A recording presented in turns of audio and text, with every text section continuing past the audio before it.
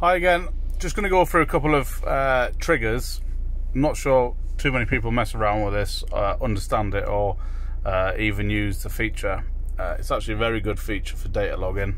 Um, it's very good for tuners, uh, especially if you're uh, asking for certain boost targets and you want to make sure you're not overshooting that target. Um, you know, certainly not by a long shot. Um, as you can see, we've got the live data on there. We've got it in graph form. Uh, we currently set x-axis to uh, times one, which is standard measurement. Um, we're going to hit the settings button. So what we can do with this settings button is we can check the live data that we want to uh, uh, adjust or record. So charge air pressure actual value. Um, we can actually set an alarm on this. Um, so today's atmospheric pressure is, uh, you know, 1000 millibar. Um, if we want to check for under boost um, and we're on full boost, we can obviously set it to a minimum value.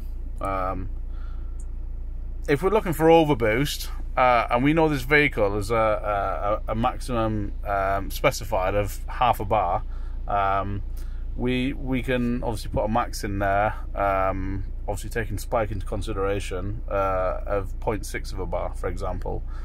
Um, you got to bear in mind you need to take into consideration the atmospheric pressure and whether whether the sensor is relative or it's not relative. Um, what you can do with this so say relative with atmospheric pressure um, if we get 0.6 of a bar we want the alarm to sound um, because we want to know if we're getting overboost. We can set the buzzer for that. So now we've set the buzzer for a min and a max on charge air pressure, actual value, um, which is a good bit of kit.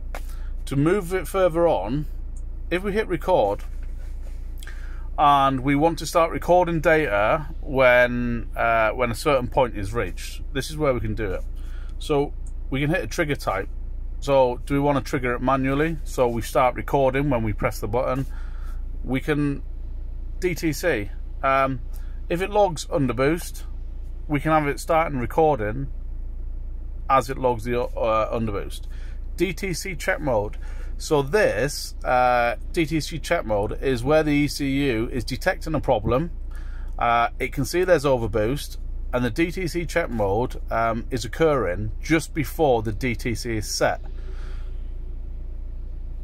If we start this recording when the DTC is set, it's already in limp mode and we're not going to record any data that is useful to us. If we hit DTC check mode, it's going to start recording the data of where the boost is, as an example, before the DTC is set. Really good bit of kit um, to start data logging. Um, so DTC check mode because we want to see where the data is just before it goes into limp mode. Duration, how long do we want to record it? Uh, on this system, uh, you won't need to record it any more than 60 seconds because if you keep your foot down, the DTC will trigger just after the DTC check mode. Um, so you can record it for 30 seconds to see where you are. 60 seconds. Trigger point. What do you want? What what do you want to happen on the trigger point? At this point, do you want it to begin? Do you want it to tone down or do you want it to end the recording? Um, so you could have, when the DTC comes on, I want it to end the recording because all the data after that bears no relevance to what I'm doing.